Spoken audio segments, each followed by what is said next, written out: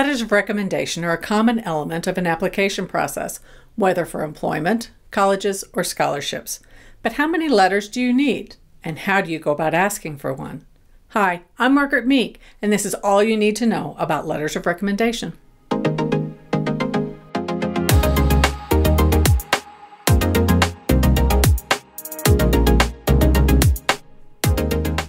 A good letter of recommendation gives the reader insight into your skills, abilities, strengths, and temperament, as observed by someone who is outside of your family or social circle. Typically, this person is in a position of authority and can speak to your positive attributes. Recommendations provide additional perspective and can help verify aspects of you and your record that you may have provided in your application or an interview. Realistically, not all colleges will require a letter of recommendation, but colleges value the added input and insight just as they value your admissions essay. It gives them more information on your behalf. This can be especially valuable if you have areas of your application that are not as strong, such as not meeting recommended GPA or test score benchmarks. Reading about your personal strengths in a letter of recommendation can often tip the scales of acceptance in your favor. To get things started, it's helpful to remember the following. Having one or two letters of recommendation on hand at all times is a good rule of thumb. When it comes to applying to colleges or scholarships, most will provide some guidelines as to how many they want or will accept, or if they want a letter from a specific individual, like a certain teacher or counselor. You will want to follow these guidelines since college admissions offices look at whether or not you can follow their instructions in putting together your application. Most colleges are not very strict on the number of letters they require. However, keep in mind that they will be reading thousands of letters, so you can help them out when you don't overdo it. We recommend you submit one or two letters of recommendation, possibly three if you're applying to a specialized program. Deciding who to ask for a letter is a big deal. As mentioned previously, you will want to ask a non family member who can speak to your positive traits and attributes. Colleges place the most weight on letters written by teachers, particularly teachers in the core areas of English, mathematics, science, and social studies. These teachers can attest to your academic successes, including information such as class participation, critical thinking, work ethic, social interaction, just to name a few.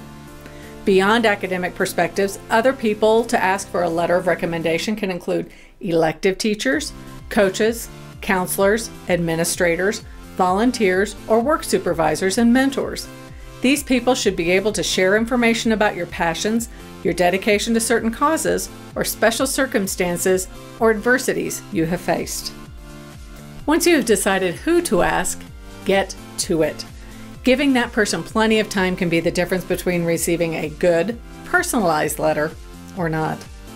Here are some other components to asking for a letter of recommendation. First, remember that asking for a letter is a personal request. As such, it is best to ask in person rather than via email or text. Provide information about yourself, such as a resume or personal profile. Though your letter writer might know you well, they are likely not aware of certain details, such as specific honors or awards you've received, or where you are volunteering. Let your recommender know if there are certain aspects about you or your work that you would like highlighted, in case they are able to do so. Next, share any specific needs for your letter. Most often, a letter can be generalized to a college or scholarship. However, once in a while, it can be important to directly address a specific program.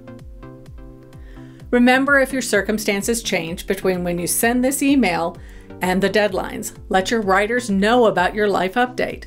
If you've been elected a captain of your team, if you've become an officer of an organization, or if you have an internship or volunteer activities in your chosen field, let your writers know. As mentioned previously, give enough advanced notice. A minimum of three weeks is suggested, but more time is usually helpful. Inform your recommenders of due dates.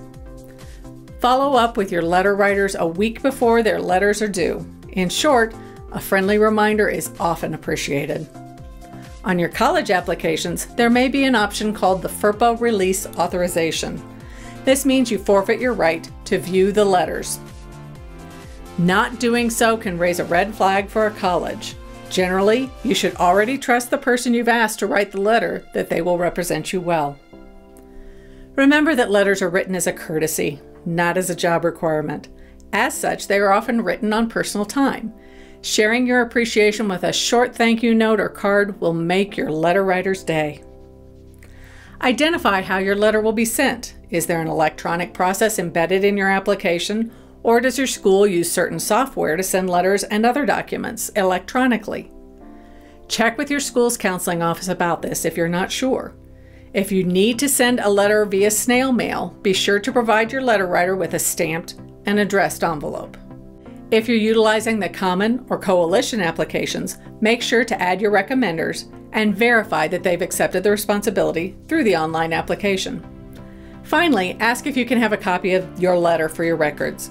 You might be able to use this letter in the future, perhaps for a scholarship application. Speaking of your future, as you continue your education and beyond, it is wise to ask for letters of recommendation from key people along the way. They will come in handy as you apply for scholarships, jobs in your career field, or if you decide to apply for graduate school someday.